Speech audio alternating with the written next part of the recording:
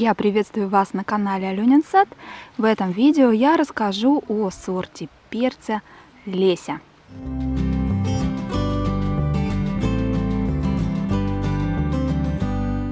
Этот сорт украинской селекции. Он детерминантный, что означает, что он не вырастет очень-очень высоким и подходит для открытого грунта.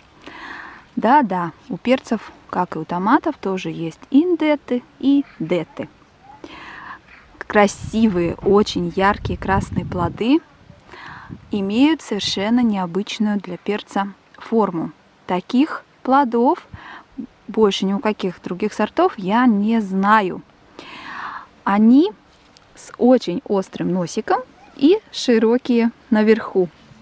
Похожи, ну я не знаю, на что даже они похожи. Пишите в комментариях, на что похожи по форме перцы сорта Леся.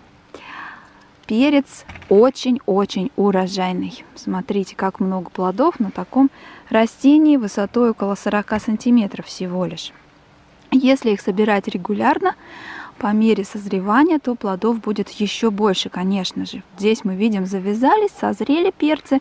Выше у нас есть бутоны, но им не хватает питания для того, чтобы зацвести и дать полноценные плоды.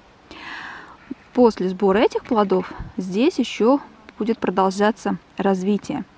Еще этот перец скороспелый. У нас в Латвии первые зрелые плоды перца вы обязательно соберете уже в июле, в середине, в начале июля. Все зависит от того, когда вы посеете растения на рассаду. Я традиционно высеваю 1 марта. Перец не особо требователен к условиям и урожайный в любой ситуации получается. Еще, что замечательно у этого сорта леся, он толстостенный. Когда вы его разрежете, вы увидите, какое внутри настоящее мясо. И из-за этого он прекрасно подходит как для запекания на гриле или в духовке. И от этого он становится очень-очень вкусный, как те перцы, которые э, перц для гриля так и называются, особая группа перцев. Но еще леся очень вкусна, конечно же, и в салатах, и маринованная, потому что стенка толстая. Это такой промежуточный сорт между тонкостенными красными большими перцами, которые для запекания подходят, и между кубовидными толстостенными сочными перцами для салата и маринования. Очень нравится мне сорт Леся, выращиваю его уже третий сезон и не откажусь от него. Буду обязательно собирать свои семена и выращивать снова и снова потому что он подходит для открытого грунта, для парников, он невысокий, неприхотливый, урожайный и очень-очень вкусный.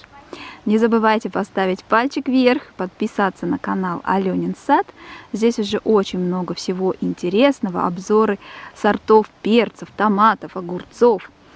Обязательно подберете для себя что-нибудь самое-самое. Всего вам самого наилучшего и до новых встреч!